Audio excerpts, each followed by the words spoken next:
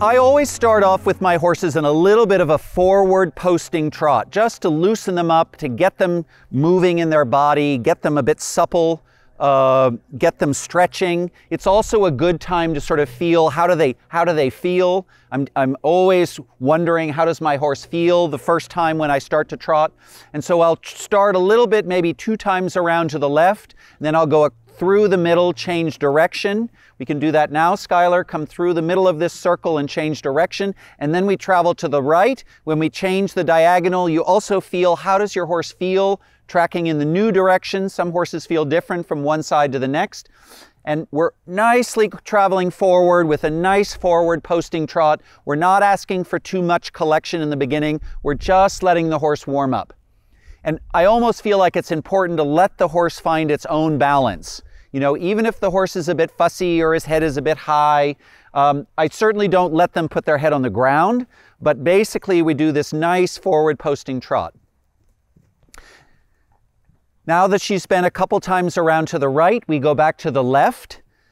We come back to the original direction, and then we start to gather up the reins a little bit. Again, we're not really asking for a lot of collection, but we're asking for the horse to start to work a little bit. It's time to sort of get down and do some business.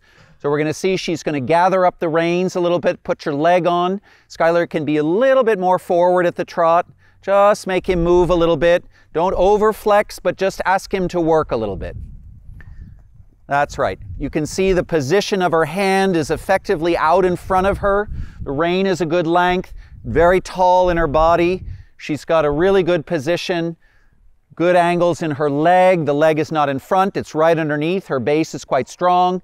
And she's just asking the horse to work a little bit in a little bit of a frame. And just by asking this little bit of extra work, you can see the horse, you get a little bit of a resistance, but if you're consistent about it, she has a feel of the mouth now and asking the horse to work. Then the horse, you can see the horse starts to concentrate on her and pay attention. And this is really important. In the beginning, oftentimes horses will look left or look right and be a little bit spooky. And you always want to try to get them so that they're nicely trotting around the ring on a little bit of a frame, a little bit of connection, and starting to work a little bit. Now she's, he's working nicely through his back.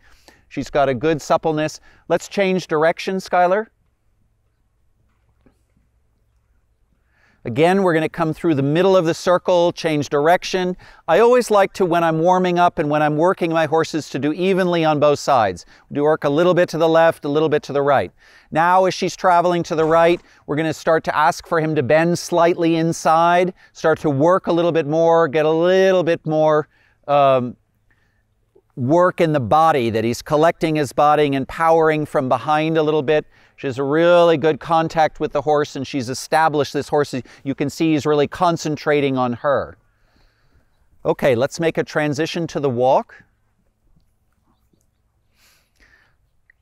As we get warming up, I love to do a lot of transitions. Walk, trot, walk, trot, and then you'll see we're going to do an exercise where we do a lot of sitting, trot, canter, sitting, trot, canter. I find that to be a very, very, very good exercise for teaching a horse to be polite, teaching rideability, teaching control, so that the horse is really listening to the rider and very subtly, with her very subtle aids, she can move seamlessly from trot to canter and back to trot again. Okay, let's get the right lead canter. As she makes that transition up to the canter, you can see she slightly bends him to the inside.